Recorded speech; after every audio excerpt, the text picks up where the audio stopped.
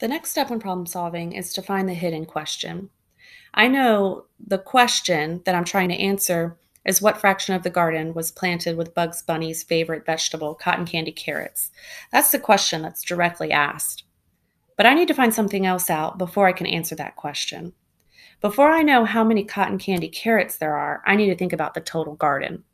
I know there's chocolate broccoli, marshmallow cauliflower, peppermint peppers, peanut brittle tomatoes, and cotton candy carrots in the total garden.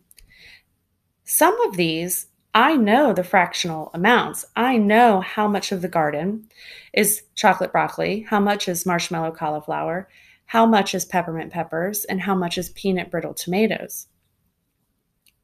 Some of them are a little trickier than others to find out, but I can figure out what fraction of the garden each of those is. So before I can find out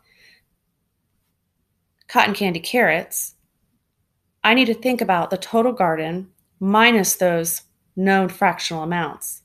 And before I can subtract those known fraction amounts from the total garden, I need to add all those together.